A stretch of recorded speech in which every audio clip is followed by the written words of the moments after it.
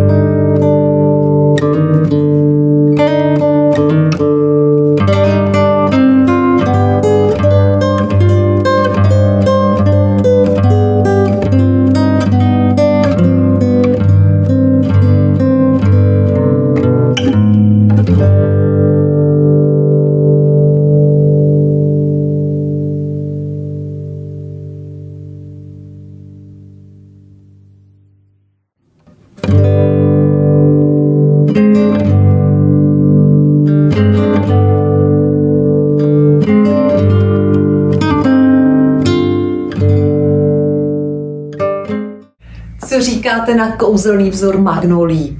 Já věřím, že se vám líbí tak jako nám, protože já miluji uh, jejich barvu, miluji uh, ten začátek toho jara a tento vzor nám to připomíná. Uh, mimo jiné, díl, který jsme pro vás teď nachystali, bude o vzorech, protože já často z praxe slýchám, že ženy neumí kombinovat vzory. Bojí se jich, myslí si, že jsou příliš složité do toho šatníku. A já vám teď tady ukážu a doufám, že i s kolegyněmi uvidíte, že to vůbec, ale vůbec není pravda. Stačí jenom vědět, jak na to a prostě to vyzkoušet. Takže pojďme do toho, to je pro vás výzva. Nenosíte vzory, tak je pojďte vyzkoušet, pojďte si s nima pohrát a pojďte zkusit a ochutnat, jaké to je na sobě něco tak skvostného, jako jsou třeba například magnolie. Tento vzor je možné kombinovat tak, že buď ho zvýrazníme, to znamená dáme nahoru třeba bílou, růžovou, nějakou barvu, která je v tom vzoru uh, obsažena. Dokonce i černou, dokonce i černou můžete dát k tomuto vzoru. A, ale je to z těch výraznějších barev, takže černá, růžová, bílá, něco, něco top, top, top. Jestliže k tomu vzoru ale přidáme třeba béžovou, tak ho naopak začneme zjemňovat. Takže začne být takový jakoby ne až tak výrazný a ne až tak ostrý do kontrastu, jako třeba s tou růžovou. Eh, když vám u obličeje nesluší právě tyto barvy, jako mám na sobě třeba já, nejste zimní typ, ale jste léto a chtěli byste tento vzor třeba nosit, tak není nic snažšího, než si skutečně dát eh, na hru třeba lomenou bílou, ne tak ostře bílou, eh, jako jsou třeba tady košila nebo trička. Takže takto lehce pracujeme se vzory.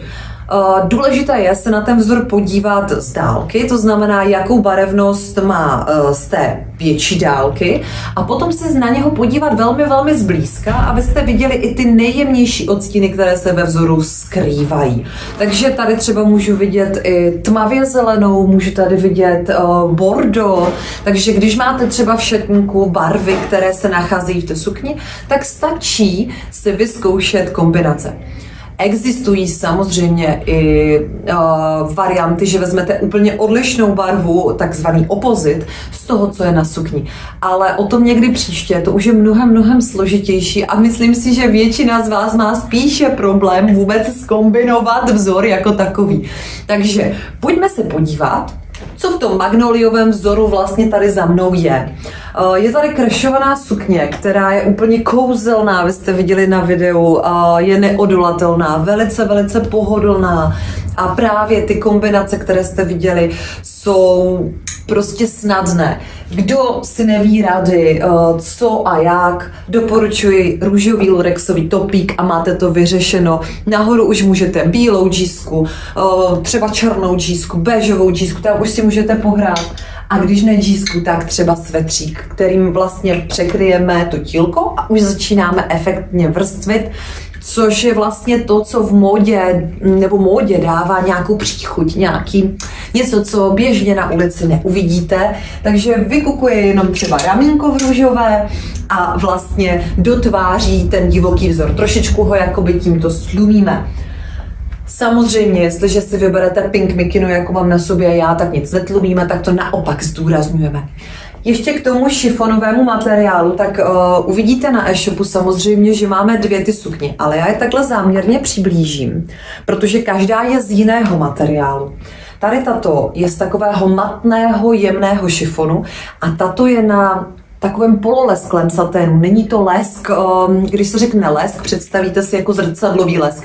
Ne, ne, ne, je to jenom jakoby výraznější, uh, ostřejší ten vzor na to. Takže když jsem léto, nebo jsem třeba typ, který nemá rád takový jakoby výraz, tak pak volím třeba vzor na matnější materiálu, jako je tento. Sukně do pasu, obě dvě velmi, velmi komfortní, co se týká nošení, protože tam mají skrytou gumu, takže uh, jen doporučuji. Z těch magnolí šaty. Jitka je vynesla nádherně. Myslím si, že se v nich i krásně cítila, protože prostě my jsme si to skutečně užívali. Uh, měli jsme radost z toho, že můžeme mít na sobě tyto krásné, ženské, nádherné materiály. Tady vidíte ten střih a košilový propínací, nádherně tvarované švy, takže to jsou ryze dámské šaty, ryze ženské šaty, které ještě vlastně můžete takhle vyštíhlovat v zadní partii. Takže uh, mohou být uh, volnější, mohou být polovolné, anebo mohou být na tělo. Je to všechno na té vazačce a na tom, jak moc to budete zeštíhlovat. A milovnice kalhot. Určitě jste tam a určitě víte, že mezi absolutní hity aktuální patří širší kalhoty, široké kalhoty, které se nosí ať už k sandálkům nebo třeba k teniskám. Je to letos hodně uvolněné, co se týká bot. Já se k botám teda ještě úplně na konci vrátím, protože máme tady jednu špičku, jednu, jednu věc, kterou jste určitě ještě jako neviděli. Uh, ale to, to předcházím. Zůstaneme u, u magnolí.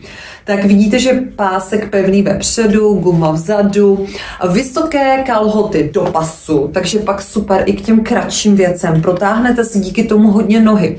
Když vlastně nosíte kalhoty do pasu, nebo cokoliv, co um, jakoby tu linku zvedá nahoru, tak si protahujeme nohy do výšky. Takže ženy kratších nohou, které se chtějí opticky trošičku zvednout do výšky, tak je velmi dobré nosit ty vyšší pasy.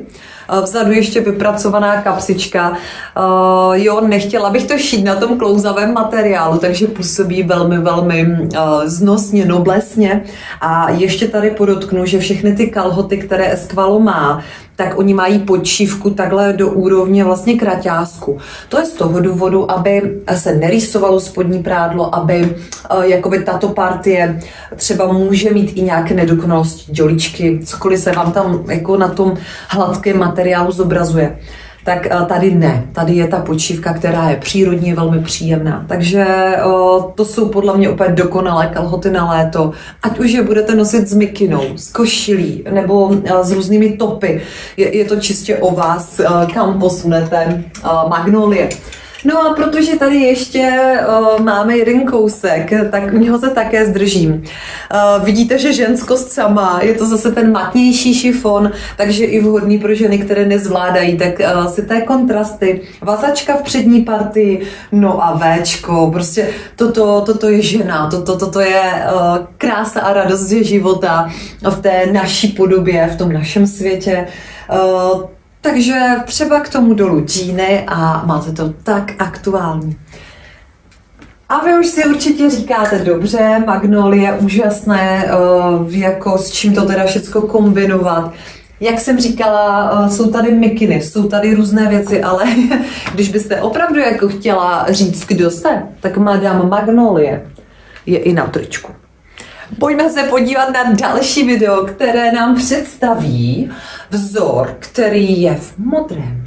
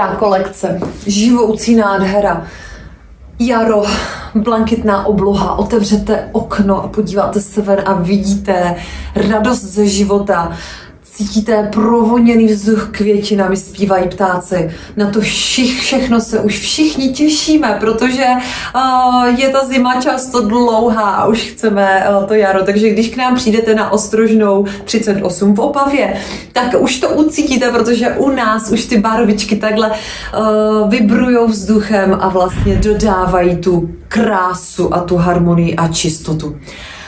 Pojďme se podívat na vzor, který jste teď aktuálně viděli na videu zblízka, protože za mě je co vidět. On je takový zvláštní, protože v sobě obsahuje spoustu barviček a tím pádem se dá skvěle kombinovat. teď si řeknete, jako, a, a s čím to budu nosit? Klasické tmavě modré džíny, klidně úplně ty klasiky, klasiky, klasiky.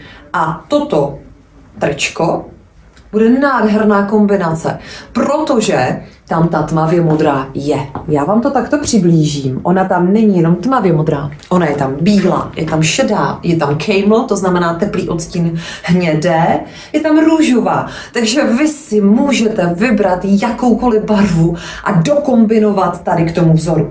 Proto, když jste si udělali třeba ty šatníky už na nějaké jednobarevné lince, černá, tmavě modrá, šedá, camel, uh, může to být klidně i nějaká barva, nebo to může být bílá.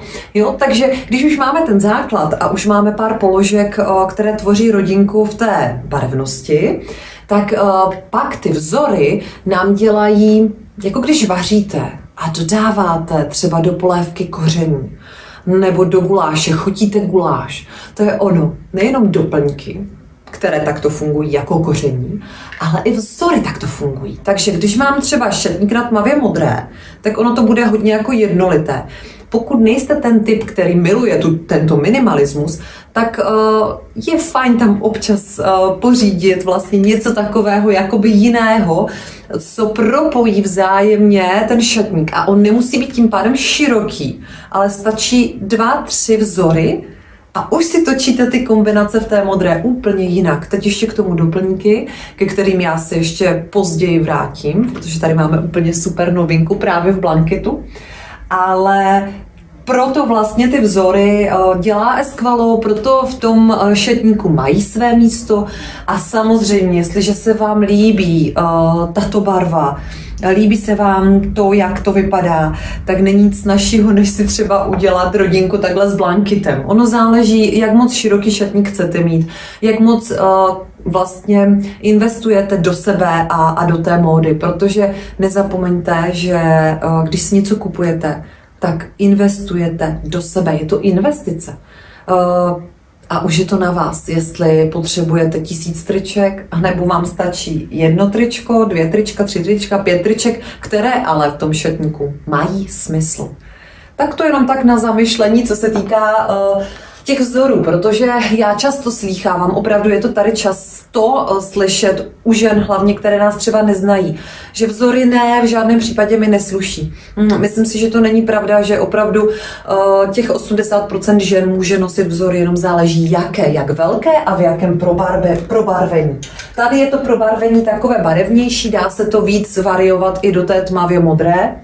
A my si hned ukážeme uh, materiály, protože Teď jsem držela v ruce viskózu, takže něco, co je pružné, hodně jako švíkačka, velmi příjemné na čelo. Eh, tady ještě vlastně vyhotovené šaty v tomto dezénu a v tomto materiálu, které opět vidíte otevřený výstřih. Já miluji na Eskvalu, že nezavírají ty výstřihy, je to ženskost. A je to teda kratší délka, takže tak nějak kolena nad kolena, eh, záleží, jak jste vysoká. A vidíme, že na jaro úplně ideálně dlouhý, delší rukávek, eh, jemně řasené, ale velice jemně řasené na ramenu. Velmi jemně, není to nic jakoby o, trčavého, nic o, extravagantního. No a tady máme ten druhý materiál, takže je to takový lehonký satének, který zase není prosím vás lesklý. Uh, ono, když se řekne satén, tak se všichni leknou, že to bude lesklé. Není to lesklé, je to takový polomát, uh, je to velmi příjemný materiál a co je na něm super a na těchto sukních je super, že vlastně jsou skvělé na cestování, protože vy do toho kufru můžete dělat to, co teď dělám já. Takhle jako stočit celé, dát do toho kufru a pak je takhle krásně vytáhnete a tím, že to má takto vypadat, eh, tak vlastně vypadáte vždy upraveně, i když eh, to skrčíme v podstatě. Uh, určitě ta údržba je také snadná, protože když to vyperu, tak ještě než to doschne, tak to takhle zatočím, třeba ještě propařím žehličkou a nechám to uschnout, třeba jeden den to nechám v tom stavu takhle a ono nám to zase chytne zpátky, to krašování. Takže úžasná záležitost toto sukně.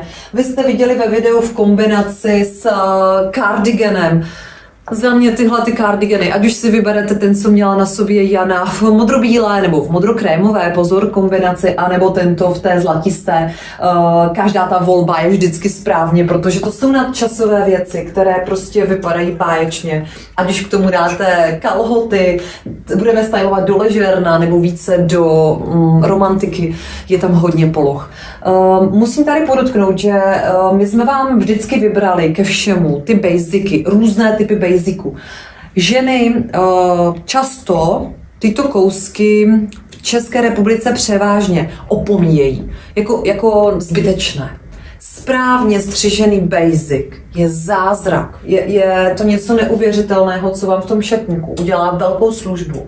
A právě tyto basicy, které mají krytou část kolem vlastně prsou v tom průramku, kde toto třeba už i po té čtyřicítce. Nevypadá báječně, pokud nechodíte v kuse do posilovny, ale jste žena, která třeba je hodně zaměstnána a uh, nemá čas až tak uh, úplně prostě dřív v té posilovně, aby jsme vypadali jako Madonna třeba, tak je pak úžasné, když ty tílka jsou takto střižená a tady nám to vlastně krásně kryjí. Takže u Esquala každé to tílko má prostě chytrý střih.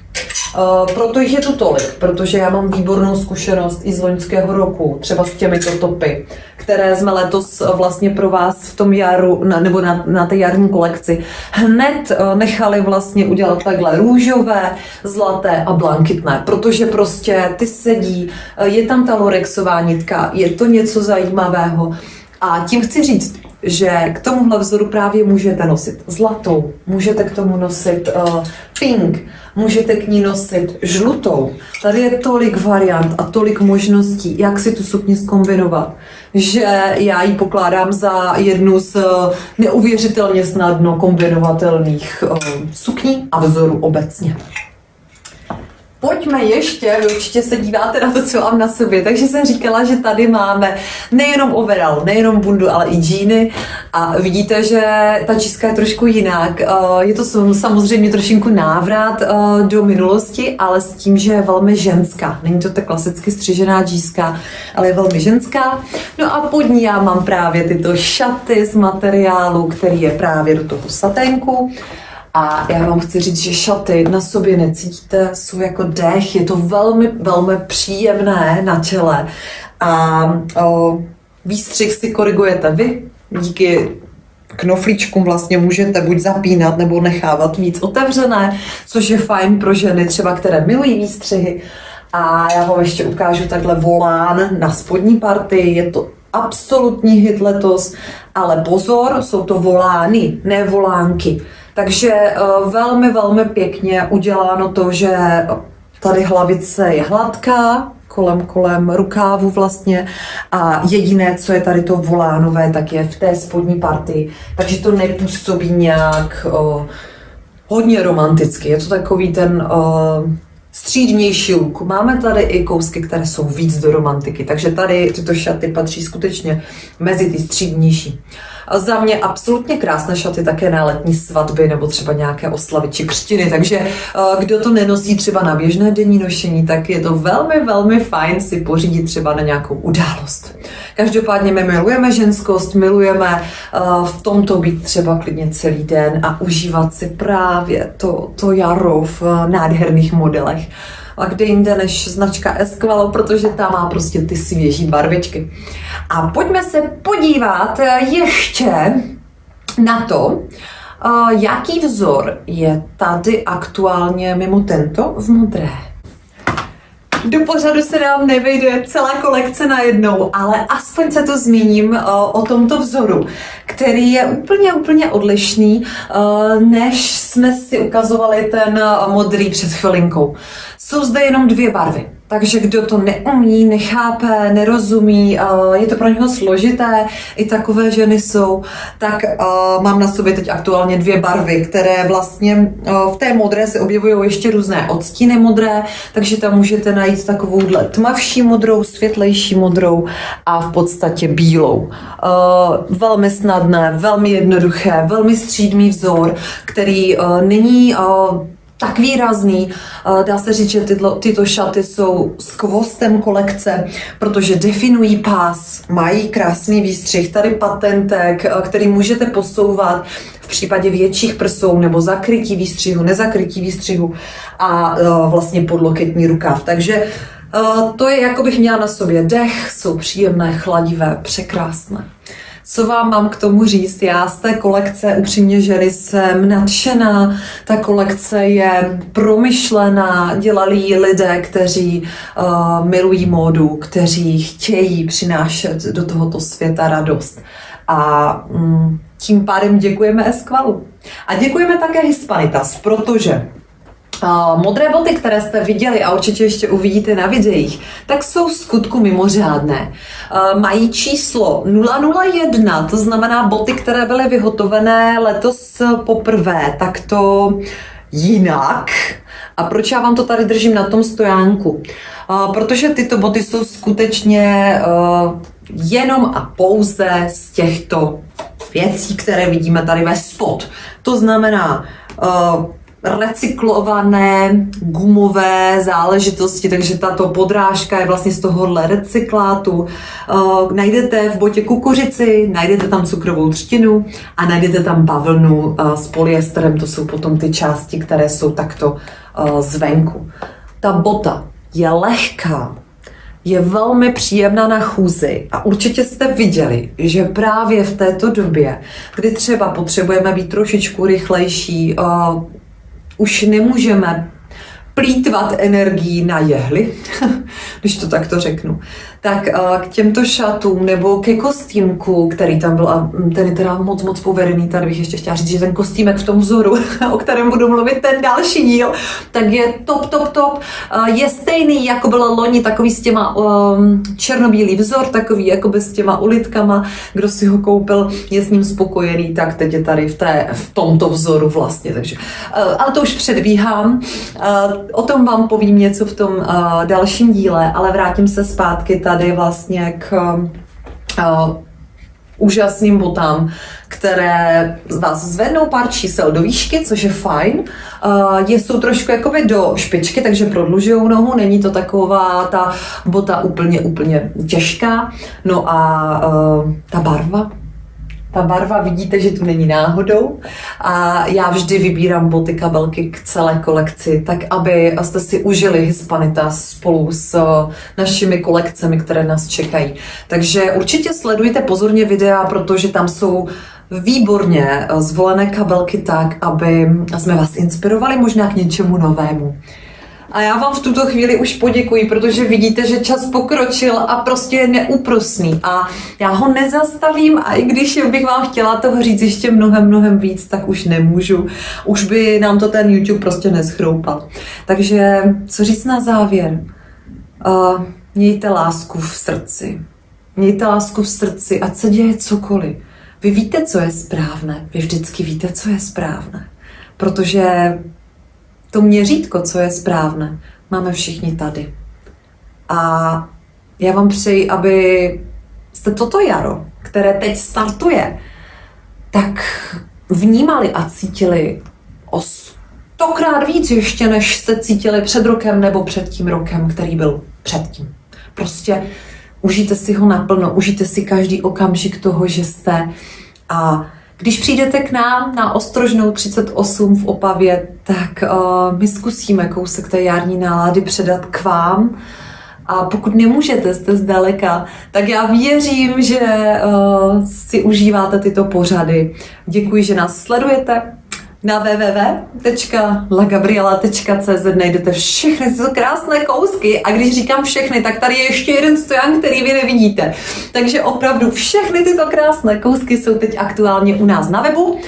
A někdo tady lítá odběr, kdo by nás chtěl odebírat, kdo by nás chtěl doporučit, tak my jsme velmi, velmi vděční, protože už jsme si říkali, že čím nás bude víc, tím víc uh, výmyslu si mohou udělat na YouTube a můžeme se třeba vidět občas i naživo, což by bylo super. Uh, ale to, že můžu natáčet tyto pořady a to, že je sledujete a máte je rádi, tak za to jsem vám vděčná. Ještě jednou poděkování Slunečnici a rezidenci Kačírkova, protože to tam bylo super, určitě tam nejsme naposledy a určitě tam nejsme jenom pro natáčení, ale zajdeme si na kávičku a nějaký dobrý zákusek. Mějte překrásný víkend a pokud se vám líbí kolekce, tak hurá k nám na web. Naschledanou.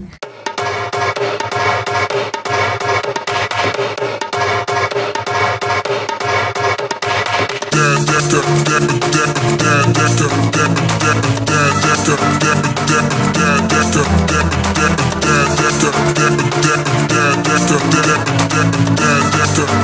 get, get, get, that, that, that, that.